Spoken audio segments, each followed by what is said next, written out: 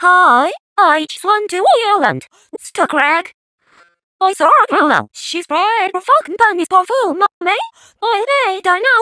Girl, don't even fucking lie my name. I'm not biting the fucking girl off. Lose stupid thing. Don't fucking go me your lawyer. Can't fuck up fucking out. You bullshit fucking ladies and empty for doing. It's still yours.